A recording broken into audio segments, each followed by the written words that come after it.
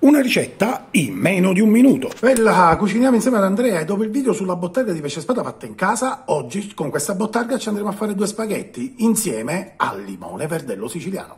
Ah, un in cucina. Tagliamo in maniera sottile la bottarga, le briciole che si formano teniamole da parte. Un soffritto di aglio e peperoncino, togliamo dal fuoco, facciamo scendere la temperatura a 60 gradi e inseriremo le bucce del verdello e le briciole di bottarga. Adesso cuciniamo direttamente gli spaghetti in padella inserendo l'acqua bollente pian pianino. Per i primi minuti non toccatevi gli spaghetti, questo vi aiuterà poi nella fuoriuscita dell'amido. Dopo 2-3 minuti potete cominciare così a maneggiarli delicatamente. Inseriamo l'olio profumato, dopodiché ci grattugiamo un po' di bottarga, ci grattugiamo la scorza del verdello siciliano e inseriamo se necessita ancora poco poco d'acqua. Spadelliamo bene bene, facciamo riposare in padella un minutino, impiattiamo in questo modo, mettendo poi del pepe rosa, una fogliolina di mentuccia e i petali di bottarga, ci grattugiamo su ancora un po' di scorza e la nostra cremina. E...